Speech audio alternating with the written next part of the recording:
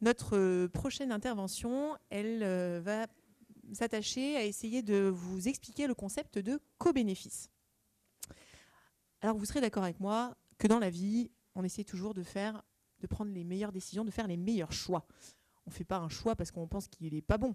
Euh, on pense que c'est le meilleur parce que euh, ça va nous réussir euh, à court terme ou, que ça va nous réussir à long terme et que c'est ce qu'il y a de mieux.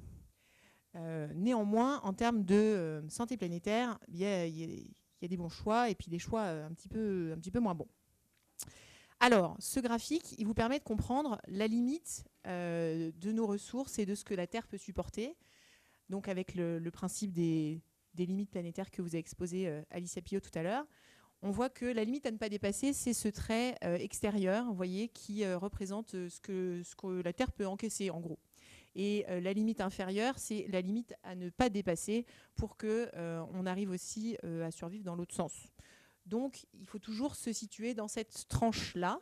celle du milieu, c'est la théorie du donut. C'est mignon. Hein Alors, euh, quand on fait euh, des choix, euh, quels qu'ils soient, on essaie de faire que ça se répercute dans cette sphère-là, dans cette tranche-là, pour que ce soit gagnant-gagnant. Qu'est-ce que je veux dire par là? On peut faire dans n'importe quel domaine, bah, je sais pas, l'utilisation des draps d'examen, la localisation de son cabinet, les conseils qu'on délivre aux patients, des choix. Et il y en a qui vont être très très bénéfiques pour l'être humain. Donc, par exemple celui-là, super, c'est bénéfique à l'être humain, par contre, ça ruine complètement la planète. Hein. Donc euh, on voit qu'on a complètement dépassé ici euh, le seuil. Donc ça, c'est un choix gagnant-perdant. Donc nous, on gagne, la Terre perd. Et in fine, du coup, bah, euh, on, perd aussi. Hein. Alors ensuite, il y a les choix qui sont perdant-gagnant, c'est l'inverse. On se dit, allez, on mise tout sur l'environnement, la planète, les écosystèmes, tout, mais par contre, notre santé, bon, on va se dire qu'on n'a pas besoin de grand-chose, on, délivre des, conseils, on fait des choix qui ne nous réussissent pas en tant qu'humains, mais qui réussissent bien dans la planète. Bon, c'est perdant-gagnant. Ça, peut être une solution, hein, mais c'est juste qu'on ne restera pas bien longtemps. Ensuite, il y a les choix perdant-perdant. Alors, c'est génial. Donc, euh, ça nuit à la planète et ça nous nuit aussi. C'est un petit peu la configuration dans laquelle on est globalement, vous l'aurez compris avec les premières présentations, parce qu'on est en train de tout ruiner et en plus, on ruine notre santé pour plein de, plein de, nos choix. Donc on, va en reparler. Et puis évidemment, il y a euh, le, truc génial, celui qu'on vise, c'est gagnant-gagnant. C'est-à-dire que quand on fait euh, n'importe quel choix, il sera bénéfique à la fois à notre santé et à la santé des écosystèmes dont on dépend tous. Et ça, ça reflète ce concept dont on voulait vous parler des co-bénéfices. C'est-à-dire qu'on fait un choix qui est bénéfique pour nous et qui est aussi bénéfique pour les écosystèmes, la planète, la santé planétaire. Et en plus, ce, qui est super, c'est que quand on fait un choix euh, qui rentre dans ce, dans ce contexte-là, ce petit quart euh, de gagnant-gagnant co-bénéfice, eh ben c'est qu'en fait, c'est gagnant-gagnant-gagnant. Parce que quand on fait quelque chose qui est bon pour nous et qui est aussi bon pour les écosystèmes dont on dépend, bah, in fine, ça revient vers nous parce que euh, les écosystèmes dont on dépend, ils vont nous permettre d'être plus en forme aussi. Donc si on en prend soin, en même temps qu'on avait pris soin de nous, qu'on en prend soin, ça revient vers nous. Donc c'est gagnant, gagnant, gagnant. Co-bénéfice et retour. Donc si jamais on va faire euh, ces courses euh, à pied plutôt qu'en voiture, eh ben, outre l'impact positif de la marche à pied, bah, ça joue évidemment sur la qualité de l'air, donc ça joue sur les écosystèmes et du coup sur notre santé. Donc c'était bon pour nous, c'est bon pour les écosystèmes, c'est de nouveau bon pour nous. Et si jamais euh, on, par exemple, euh, je sais pas, on prend les décisions sur, euh, à votre avis, bah, l'alimentation. Pourquoi l'alimentation? L'alimentation, c'est super important pour notre santé individuelle. Vous êtes tous d'accord, j'imagine. Et dans toutes les maladies dont on peut parler, ou quasiment, il y a un rôle de l'alimentation.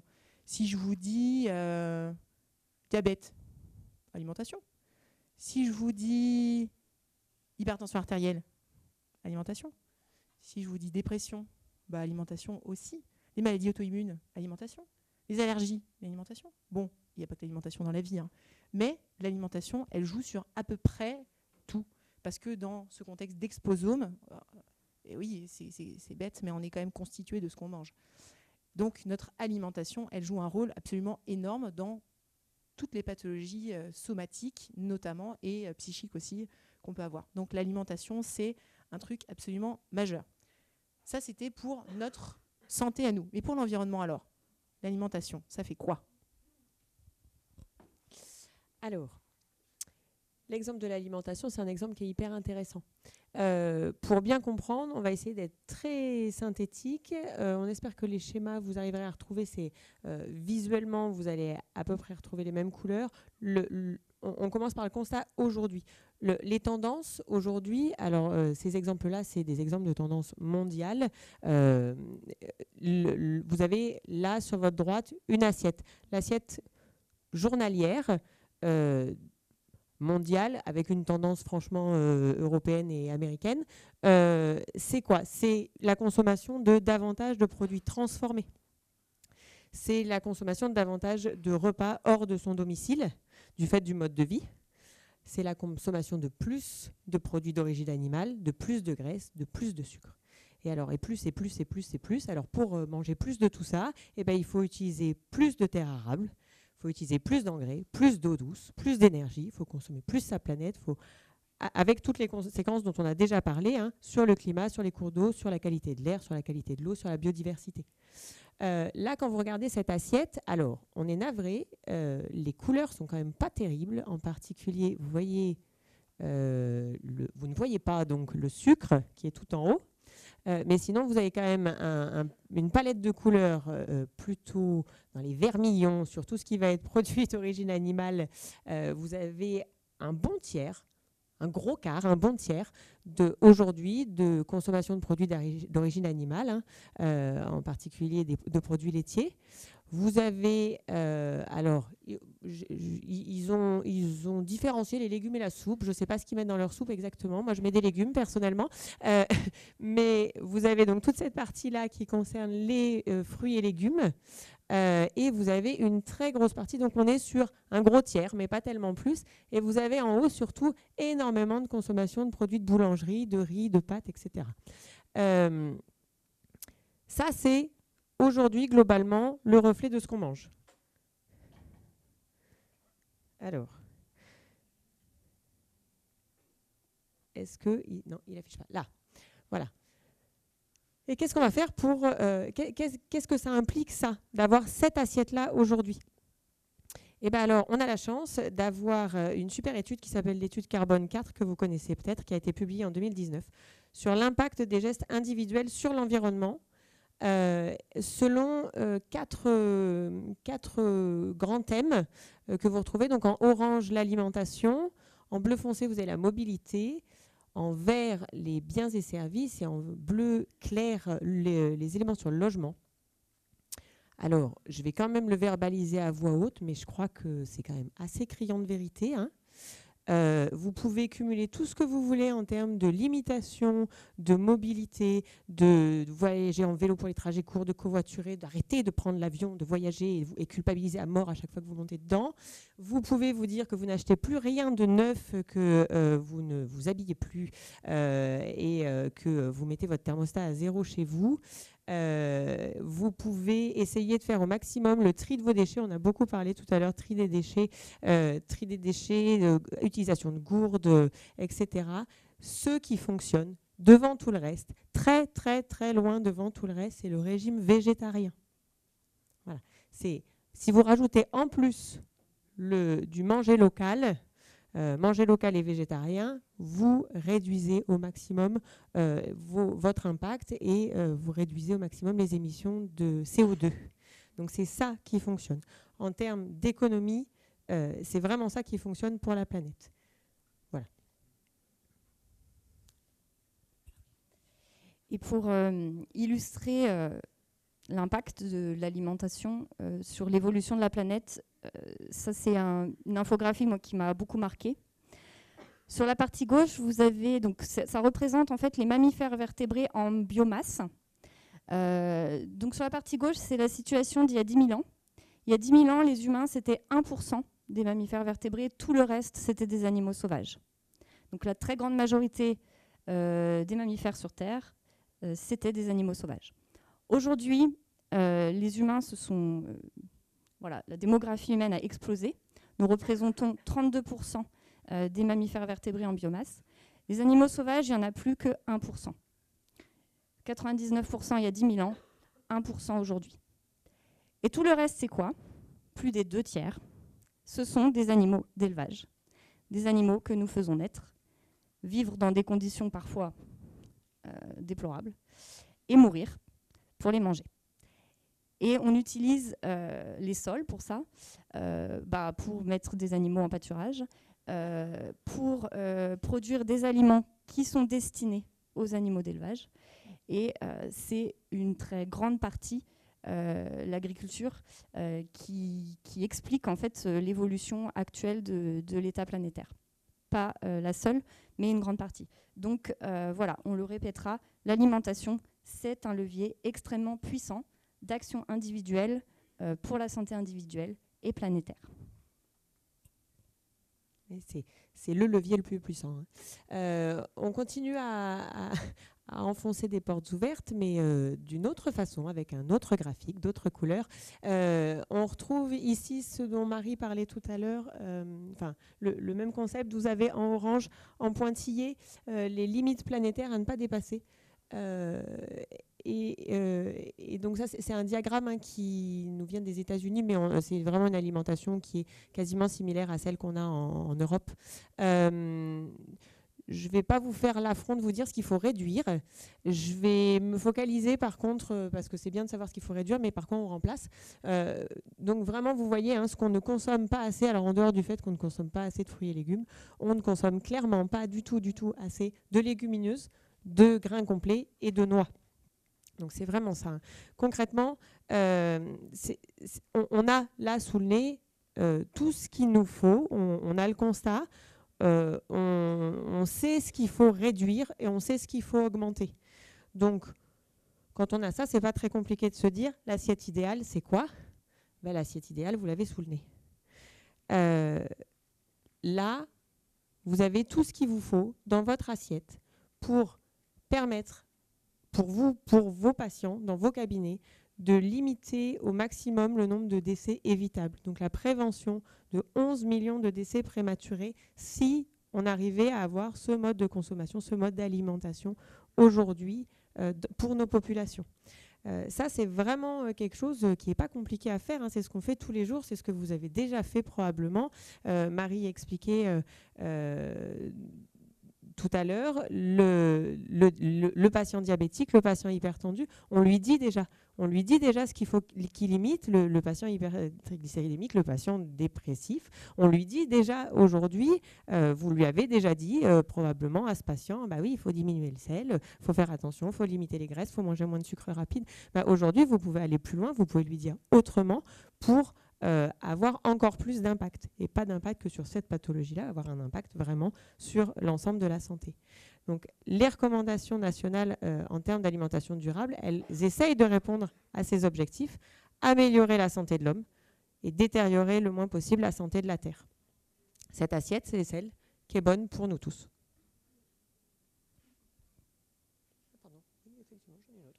J'en ai une autre. J'avais oublié. Ma voix me dit qu'il faut s'arrêter. Donc, euh, en gros, ce qu'on a fait dans, cette assiette, euh, c'est bah, végétaliser l'alimentation, remplacer la viande par des protéines végétales, par des légumineuses, des oléagineux. C'est augmenter la consommation de légumes, de fruits et de légumineuses. C'est privilégier les céréales complètes dans l'alimentation, privilégier les huiles d'olive, de colza et de noix c'est limiter la consommation de produits laitiers, de produits ultra transformés et de sucre ajouté. Et bien sûr, euh, alors on pourrait se dire, euh, tout à l'heure, euh, il y avait ce beau diagramme qui disait que devant tout le reste, effectivement, le, repas végétarien était le meilleur levier, le levier le plus, le plus puissant. Euh, et on pourrait se dire que tout le reste, c'est peanuts. Mais, en fait, en, faisant ça, déjà, en fait, on, utilise d'autres leviers, c'est-à-dire qu'en faisant ça, en, en, mettant en place cette bonne assiette pour nous tous, eh ben, on va réduire, euh, on, va pouvoir à côté réduire le gaspillage, réduire ces déchets euh, et effectivement avoir un autre levier au niveau de, à ce niveau-là, privilégier le fait maison et puis on pourrait en parler au niveau de l'alimentation. le fait maison, c'est aussi ne pas utiliser certains matériaux, euh, utiliser du bois, de l'inox, euh, euh, de, la, céramique et du verre, et, pas de plastique autant que possible, et privilégier le bio, donc le fait maison, le local et le bio.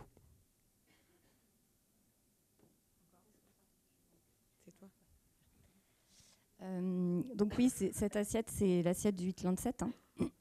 Alors, euh, c'est pas l'assiette pour chaque repas il faut plutôt le voir comme une moyenne, euh, euh, peut-être sur une semaine. Et évidemment, ça reste à, adapter euh, quand même en fonction de certains critères individuels. Mais c'est vraiment une référence majeure en santé planétaire.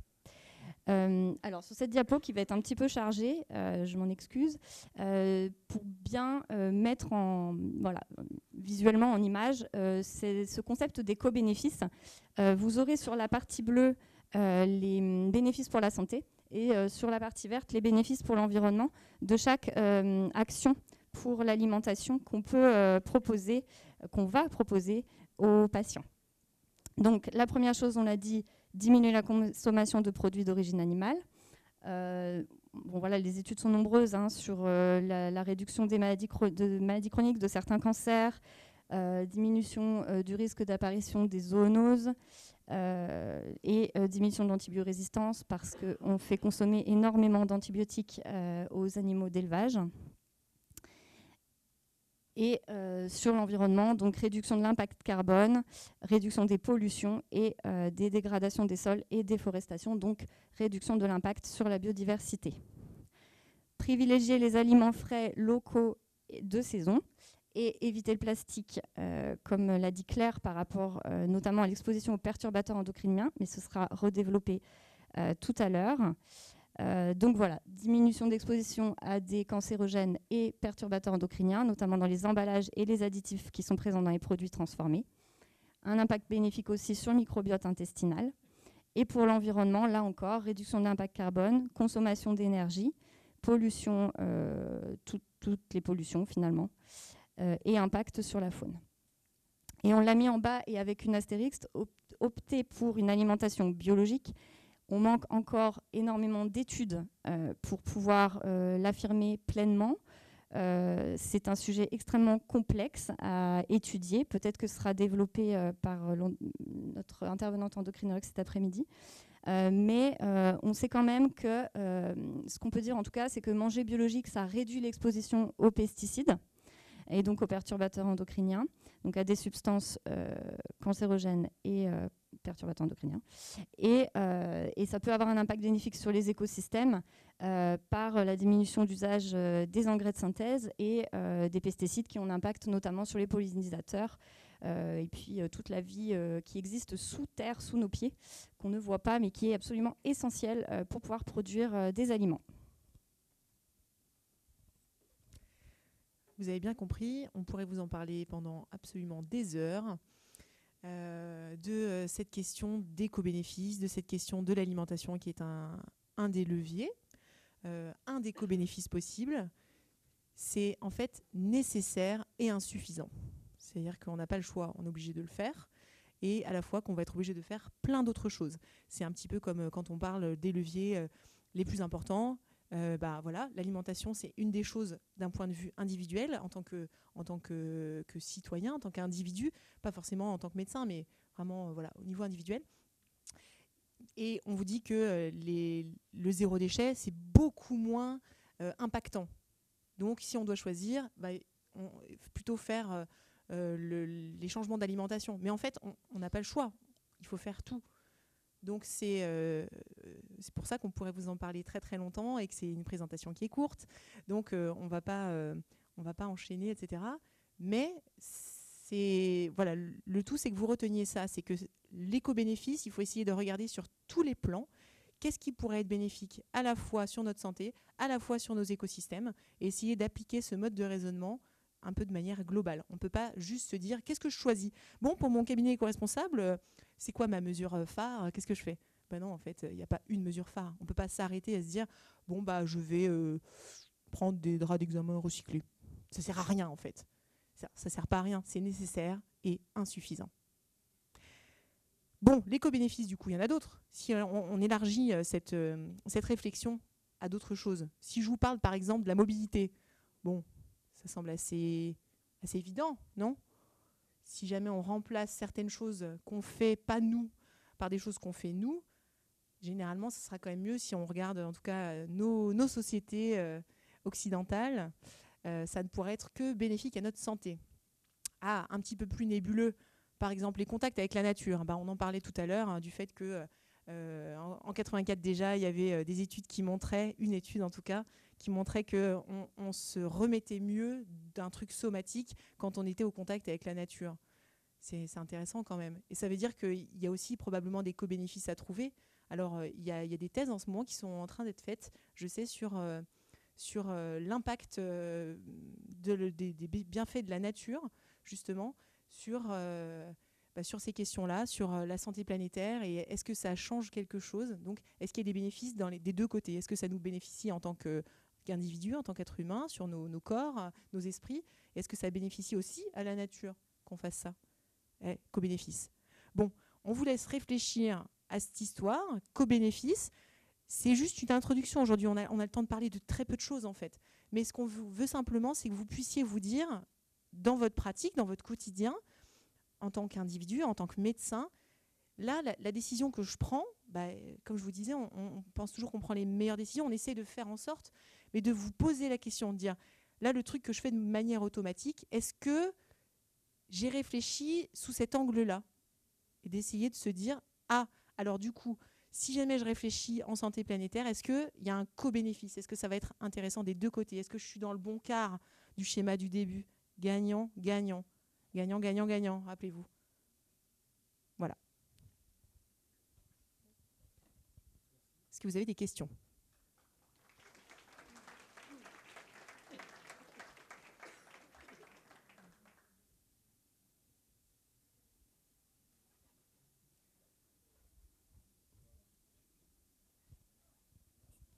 Merci.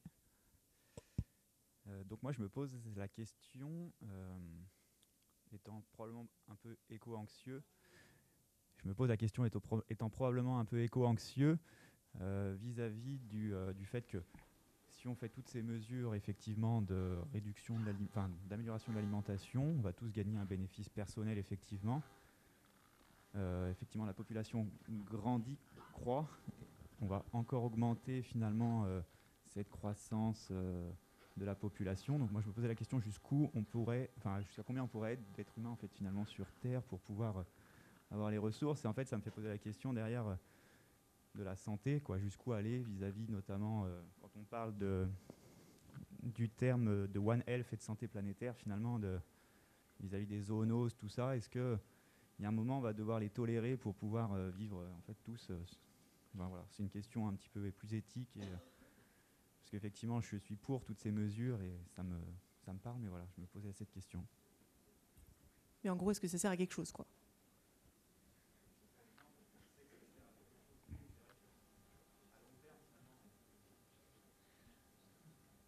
C'est une très bonne question. Euh... Reformule la question.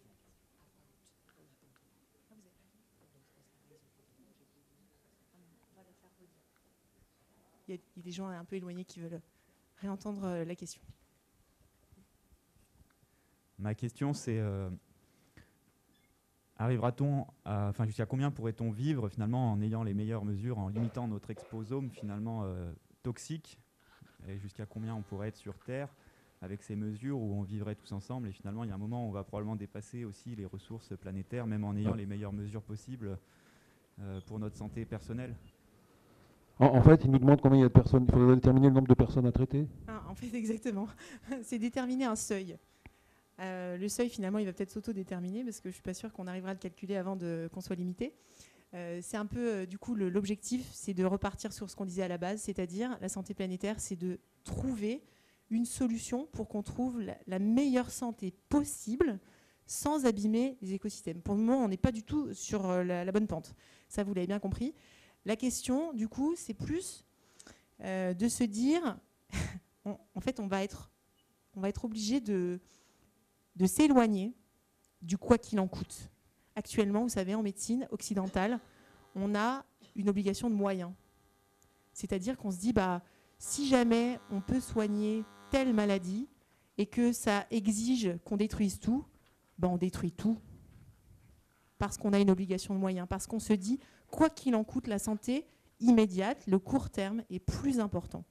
Donc ce qu'il va falloir essayer de déterminer, c'est quelque chose de, plus philosophique, de plus éthique comme question, c'est qu'est-ce qu'on peut viser comme santé qui soit euh, tenable, effectivement. Donc l'objectif, c'est pas tellement d'essayer de déterminer à combien de personnes on peut arriver à, vivre, euh, parce que là, euh, actuellement, on vit à nombreux, mais il y a beaucoup de gens qui sont très en dessous dans le seuil de ce qui est acceptable au niveau de la santé, c'est-à-dire qui ont une santé de merde. Et à la fois, c'est aussi euh, de déterminer, voilà, d'essayer de faire un, un truc de vase communicant en se disant qu'est-ce qui est acceptable dans un sens et dans l'autre. Il y a une question d'équité, évidemment, il y a une question de ce qui est supportable dans les deux sens. Peut-être qu'on a déjà atteint en fait un seuil maximal de personnes euh, au-delà duquel on ne va pas arriver à garder une santé satisfaisante sans tout abîmer. Donc, on va être obligé de baisser ce seuil. À combien est ce seuil? Il faut qu'on le détermine au fur et à mesure des années qui viennent, justement bah, en travaillant, c'est surtout un travail scientifique. Donc on a notre place aussi là-dedans d'essayer de, réfléchir à cette question qui est, super éthique, de se dire, euh, bon, ça va pas être le quoi qu'il en coûte, on peut pas se permettre ça, on peut pas se permettre en fait de développer de manière illimitée la médecine, les connaissances, la, santé humaine. Non, on va peut-être pas pouvoir viser de, vivre éternellement, malheureusement. Mais du coup, qu'est-ce qu'on va pouvoir viser au maximum? Pour le moment, on n'est pas du tout encore à cette question-là parce que on est encore au point où on se dit qu'il faut tout tenter.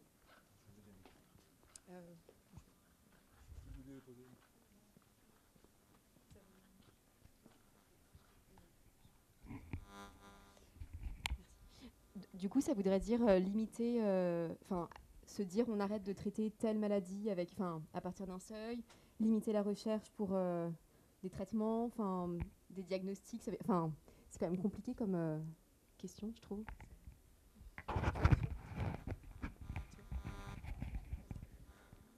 Alors du coup, ça va, être, euh, ça va aussi euh, résonner avec le- les interventions suivantes sur la prescription, la pharmaco, etc., tout plein de choses. Mais oui, bien sûr, c'est une, une question qu'il va falloir qu'on se pose. De toute façon, on, le voit bien ces jours-ci en plus, c'est difficile de prévoir l'avenir. Ça n'a jamais été, été simple. hein, euh, euh, bien, heureux celui qui arrive à prévoir l'avenir, mais savoir dire dans quel monde on va vivre dans, deux semaines, on ne sait même pas. On est dans des situations d'incertitude. Alors, ça fait deux ans avec le Covid, mais là, depuis une semaine, euh, dans des situations géopolitiques qui nous dépassent complètement. Du coup, la question, en tout cas, sur, dans les 20 ans qui viennent, dans les 30 ans qui viennent, dans les 100 ans qui viennent, et plus si on arrive jusque-là, c'est du coup de se dire effectivement, bah, est-ce qu'il va falloir qu'on accepte de mettre des moyens absolument illimités pour faire une 20e ligne de chimio à quelqu'un dont on sait qu'il va mourir quand même? Bah, c'est super dur comme question. Moi, j'ai envie de dire, mais bien sûr, on va le faire. Si jamais c'est euh, ma famille, mais je suis ravie en fait que- qu'on vive ici et qu'on puisse mettre des moyens absolument illimités pour euh, essayer de donner une chance. Mais est-ce qu'on va pouvoir se le permettre? C'est des questions philosophiques auxquelles il va falloir qu'on réponde. Pour le moment, je ne prétends pas du tout avoir la réponse, évidemment. Mais il va falloir qu'on se pose ces questions-là parce que probablement qu'on ne va pas pouvoir tout développer de manière illimitée, que ce soit la chirurgie, la médecine, la pharmaco, tout ce qu'on veut. Le monde est limité. On vit dans un monde physique qui est limité par des limites physiques. Rien n'est illimité dans la vie.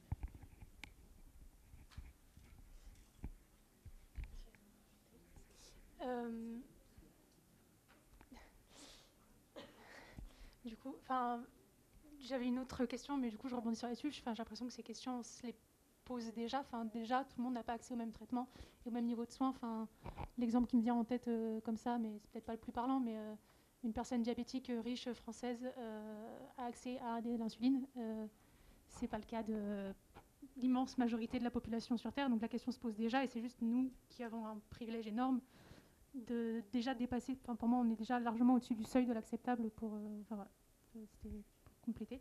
Mais sinon, c'était sur euh, de base, j'avais plus un commentaire au niveau de l'alimentation aussi, où euh, vous parlez d'actions très individuelles, que ce soit sur des choix personnels ou sur des conseils à donner aux patients. Et euh, de la même manière, je trouve que ça se heurte à des limites socio-économiques énormes d'aller conseiller de suivre la- l'assiette où on est d'accord, ce serait génial et merveilleux, mais c'est extrêmement difficile d'avoir accès à cette alimentation de manière socio-économiquement en France, partout dans le monde. Et euh, voilà, je, trouve que c'est une grosse limite euh, à, cette démarche de l'action individuelle. Voilà, je voulais vous questionner un peu là-dessus. C'est super intéressant comme remarque. Euh, je crois qu'on peut, on sera peut-être tous d'accord hein, si on dit que en France, on est super riche. Même les gens qui sont les moins riches, ils sont très riches par rapport aux gens qui sont pas riches du tout ailleurs. Est-ce que du coup, déjà, juste sur la France, on a une alimentation qui peut être considérée comme euh, euh, infaisable selon ces principes qu'on a, évoqués dans le co-bénéfice de l'alimentation Si on, fait une alimentation qui tend vers cette assiette de santé planétaire, est-ce que c'est impossible avec des moyens hyper restreints en France? Déjà, clairement pas, parce que je pense que vous aurez constaté en médecine générale comme moi que les gens les moins fortunés, ce sont ceux qui mangent le plus mal. Euh, concrètement, j'avais une patiente cette semaine qui m'a dit quelque chose d'assez drôle. Elle me dit ah je mange n'importe quoi. euh, avec mon mari on mange que de la merde. C'est rigolo parce qu'heureusement qu'il y a les enfants, euh, ça nous force à faire quelque chose d'un peu mieux. Mais docteur pourquoi euh, je- on s'impose pas à nous-mêmes ce qu'on fait pour nos enfants? Je trouve ça rigolo. Donc elle était consciente qu'elle essayait de faire quelque chose de mieux pour ses enfants, mais que elle c'était cata quoi. Et c'était une, une catégorie socio-professionnelle plutôt basse euh, où elle, mange que des tacos et des pizzas toute la semaine. Et ça coûte une blinde. Donc en fait, si on peut se permettre de manger ça alors qu'on a des moyens socio-économiques qui sont très limités, c'est qu'on peut se permettre de manger mieux. En fait, les légumineuses, franchement, ça vaut pas très cher, quoi. Donc si jamais on doit manger un quart de légumineuses dans notre alimentation, c'est pas ça qui va plomber le budget. Ça apporte des bonnes calories, ça apporte des choses qui seront saines. Donc le fait en France de pouvoir faire cette assiette, ça, n'est pas un problème. Alors, il y a certaines choses, c'est une question de choix aussi. C'est parce que on a euh, actuellement, on consacre moins de 10% de notre budget à notre alimentation.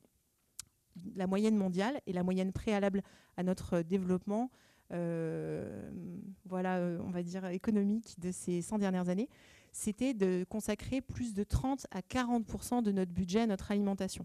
Donc nous, on trouve ça super normal actuellement de ne consacrer que 10%, 1, euro sur 10 à ce qu'on mange. Donc effectivement, peut-être que ça nécessite aussi de redessiner ce qui est nécessaire pour s'alimenter. C'est-à-dire que si jamais les gens veulent continuer de manger euh, énormément, c'est-à-dire en trop grande quantité, et euh, de ne consacrer que 10% de leur budget, alors moi je pense qu'ils pourraient quand même y arriver, malgré tout, parce que franchement, la malbouffe, ça coûte cher. Mais euh, peut-être aussi, ça nécessite de redessiner ça, les priorités en fait.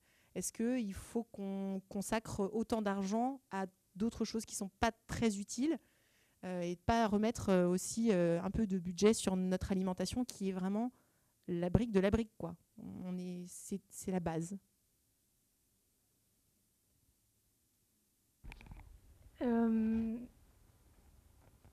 Encore une fois, je trouve que ça repose sur un. Enfin, j'ai l'impression que y a, ça ne prend pas en compte des, des- des implications cognitives et culturelles euh, énormes. Enfin, euh, un tacos, une pizza, ça coûte cher et c'est dégueulasse, mais c'est beaucoup plus facile quand tu es pauvre, que tu travailles toute la journée, que tu rentres de l'usine, que de s'acheter des légumineuses, de te faire tremper tes pois chiches, etc. Enfin, je, je caricature à l'extrême, mais euh, ça. hum, je sais, je sais pas comment formuler, mais je, je trouve que l'approche sur le, enfin voilà, et du coup, en même temps, je suis d'accord que dans, la relation singulière que tu as avec le patient euh, en cabinet de médecine générale, tu vas pas lui dire il faut réformer l'agriculture, euh, etc.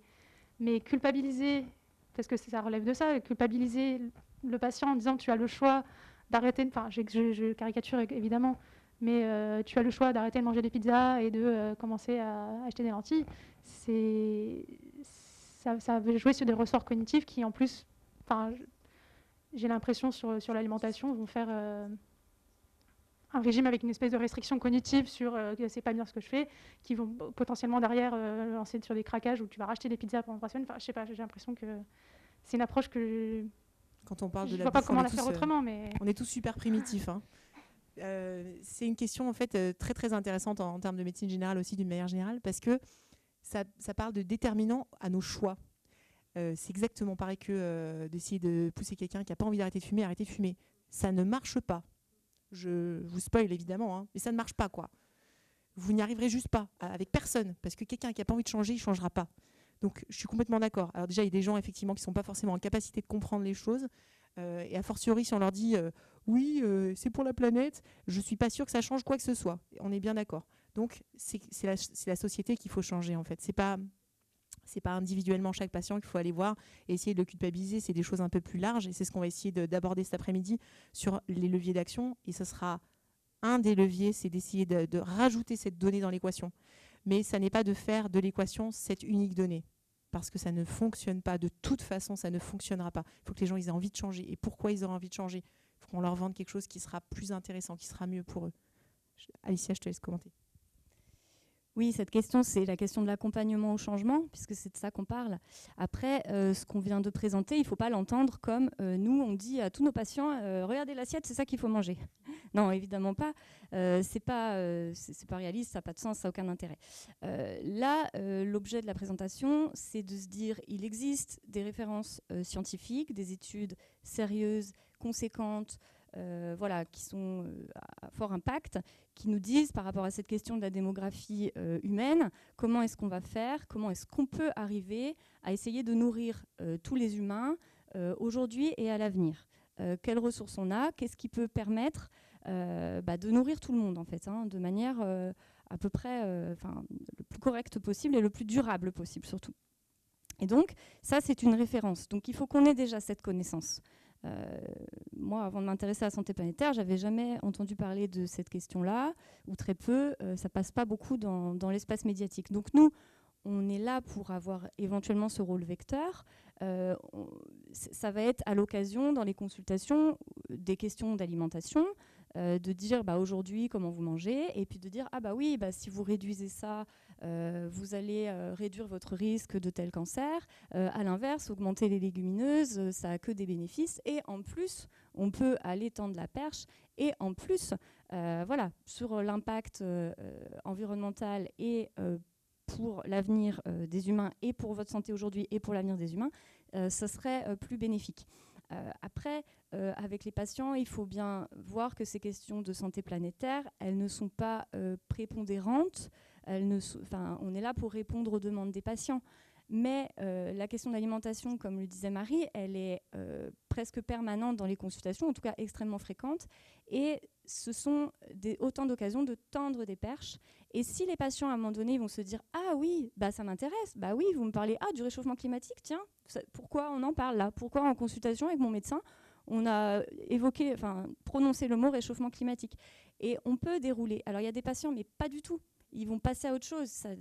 C'est pas ça pour ça qu'ils sont venus. Et, et ben, on, les laisse parce que ça sert à rien en plus de s'épuiser. On leur apportera rien et on n'apportera rien à personne. On va juste perdre du temps. Euh, mais par contre, si le patient il nous dit ah bah oui ça m'intéresse, est-ce qu'on pourrait parler, euh, voilà, prendre plus de temps pour aborder cette question d'alimentation Euh, bah, Très bien. Revenez une prochaine fois, pas de souci, on peut, on peut l'évoquer, on peut en parler. Et, oui, sur les injustices, euh, l'injustice sociale en santé, les injustices environnementales, c'est un sujet extrêmement important en santé planétaire. Ça aurait été intéressant qu'on ait un sociologue aujourd'hui, mais on ne peut pas aborder toutes les questions. Euh, et, euh, et- au moins déjà d'avoir les informations, d'essayer de, de chacun faire ce qu'il peut à son niveau sans culpabiliser, mais de permettre à chacun d'avoir l'information, d'avoir les leviers d'action, et surtout ceux qui vont avoir le plus d'efficacité. Parce qu'effectivement, trier ses déchets, tout le monde vous parle de ça, mais clairement, c'est pas du tout ce qu'il y a d'efficace, hein, d'un point de vue euh, santé environnementale. Euh, alors que euh, revoir son alimentation, ça, oui, ça vaut le coup, ça a de l'impact. Je vais dire autre chose, mais j'oublie. J'avais plutôt une remarque, c'est pas vraiment une question, par rapport à une étude qui est sortie le 8 février dernier, une étude norvégienne et qui vaudrait le coup d'être un petit peu médiatisée, euh, qui montre qu'il y a jusqu'à 13 années de vie gagnées sur un régime alimentaire qui se rapproche de ce que vous avez montré. Et, euh, je trouvais que d'en parler aux patients, euh, ça, voilà, ça pouvait peut-être, euh, sur le. Donc 13 années, c'est quand même pas rien. Et même quand ce régime est adopté à 60 ans, il y a 8 à 9 ans d'espérance de, vie gagnée. Enfin, je ne sais pas si vous avez entendu parler de cette étude. Oui, tout à fait. J'ai depuis d'ailleurs, euh, j'utilise énormément en consultation auprès des patients.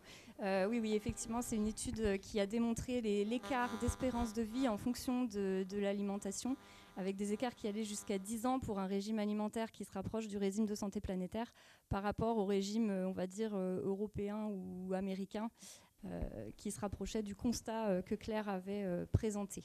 On va donner les références, puisqu'on les a là, de cette étude. Merci. Excusez mon accent, Estimating Impact of uh, Food Choices on Life Expectancy, a Modeling Study.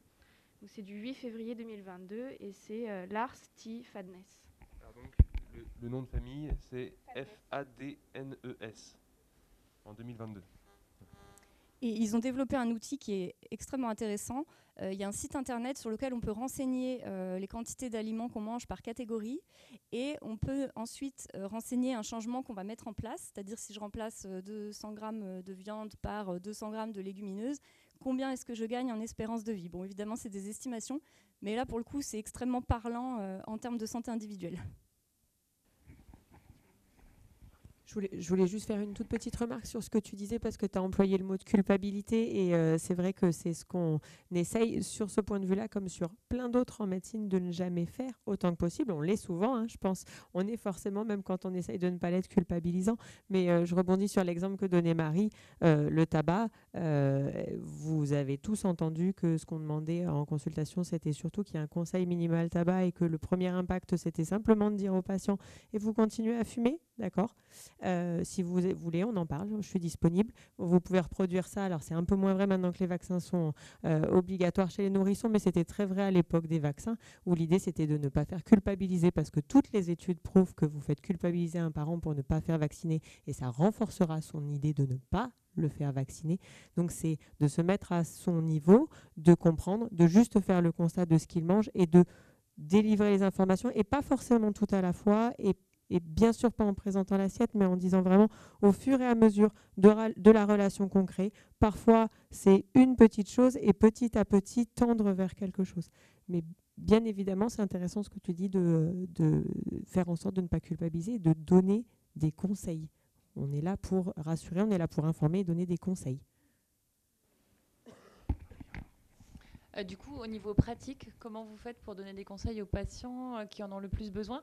Parce qu'évidemment, pour rebondir sur ce que tu disais, dans des familles où la charge mentale n'est pas trop importante, on a le temps d'anticiper les choses, de faire les courses au marché, de mettre à tremper, comme tu disais, il faut avoir la disponibilité mentale, il faut avoir le temps. Euh, C'est aussi une affaire d'éducation, bien sûr, lorsqu'on vient d'une famille où on a vu les parents cuisiner, où on nous a appris à cuisiner des aliments bruts plutôt que d'acheter quelque chose de transformé qui est plus simple, mais quoique plus coûteux. Euh, c'est facile. Comment est-ce que vous allez faire en pratique euh, avec des patients qui n'ont pas eu cette éducation à une alimentation saine, à la fabrication euh, maison, etc. Comment vous allez faire sans être infantilisant? Alors, Parce que le conseil minimal, c'est très bien. Je pense qu'il y a des plaquettes PNNS, etc. Euh, en pratique, qu'est-ce qui marche? Je, vais peut-être botter en touche simplement parce que c'est ce dont on va parler cet après-midi sur le qu'est-ce que je fais, le temps de l'action, euh, comment je fais en pratique, plutôt que d'en parler là. Mais on y répondra bien sûr.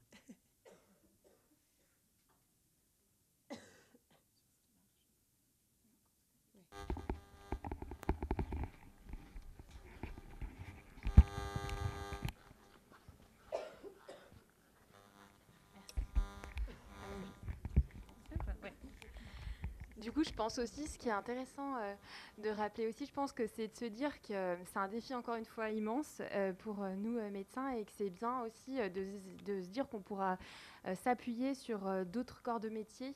euh, parce que comme on voit euh, pour la publicité euh, qui était l'antibiotique, c'est pas automatique. Bah, c'est vrai que c'est grâce aux médias aussi euh, qu'on a réussi à faire euh, changer les choses et on n'est pas seul en fait euh, euh, face à, tout ça. Et euh, j'espère en tout cas qu'on aura euh, pas mal de, d'autres intervenants euh, qui ne sont pas forcément euh, de la médecine pour nous aider en fait à faire changer les choses et ça nous déculpabilise aussi parce que sinon seul on, on se dit mon dieu mais on n'y arrivera jamais quoi donc euh, c'est important de se dire que voilà il faut qu'on soit plusieurs je pense Lucie. Euh, Peut-être si on veut rester dans les temps et pas galvauder l'après-midi, on va s'arrêter là. Merci.